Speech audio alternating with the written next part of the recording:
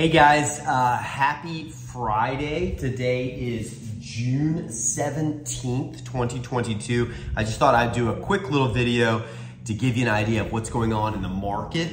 So as I'm sure everybody knows, interest rates have gone up quite a bit. We're hovering right now at about 5.875, just under 6% interest rates for a 30 year fixed mortgage.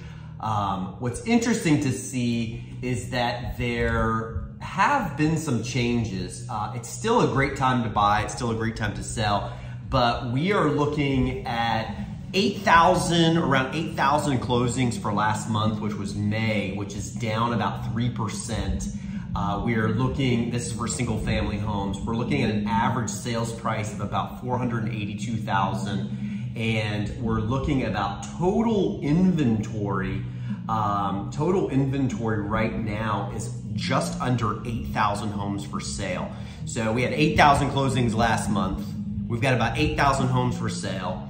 Prices are about 16% higher, and we're not seeing a whole lot of new homes flood the market. And the reason being is because interest rates are higher, so people don't necessarily want to sell their home buy another home and see their mortgage payment go up, especially if they've been in their home for only a few years. Now, the people who have been in their home for 10 years or, or more, they can, you know, cash out and do very, very well. They can buy a much newer home, larger home, different area, whatever they're looking for. And their mortgage payment isn't gonna be that much different because they're putting down such a huge bulk of money.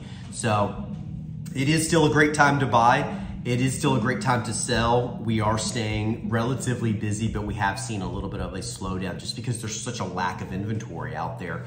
Um, and then just to give you some quick other numbers, we've seen about 3,000 homes hit the market in the past week.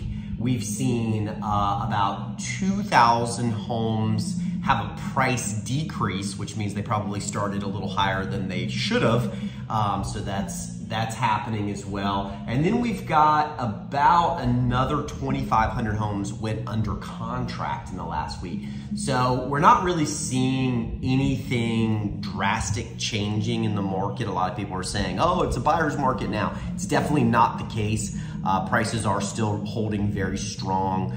Uh, new homes are trickling in, and then obviously homes are going under contract. So we do expect interest rates to continue to rise the rest of the year. If you're thinking about buying or selling a home, it's still a fantastic time to do so. Give me a call, 404 786 2184 if you have any questions. Have a great weekend.